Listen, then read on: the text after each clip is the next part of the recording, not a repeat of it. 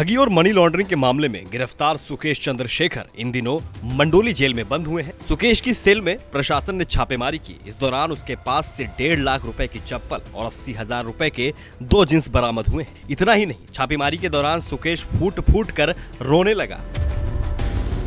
Sukesh Chandrashekhar Mandoli jail में बंद है। सुकेश की सेल में जेलर दीपक शर्मा और जय सिंह ने सीआरपीएफ के साथ रेड की। इस दौरान सुकेश चंद्रशेखर हक्का बक्का रह गया। रेड खत्म होने के बाद सुकेश दीपक शर्मा और जय सिंह के सामने फूट फूट कर रोने लगा।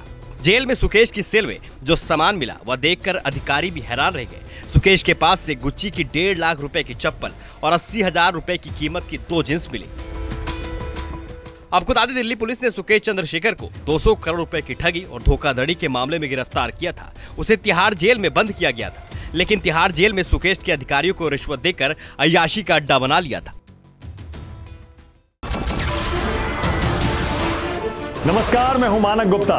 अगर आपको हमारा ये वीडियो पसंद आया हो तो इसे लाइक और शेयर ज़रूर करें। और हाँ हमें सब्सक्राइब और फॉलो करना ना भूलें। ताकि आप देश और दुनिया की कोई खबर मिस ना करें। तो जुड़े रहिए हमारे साथ और देखते रहिए न्यूज़ 24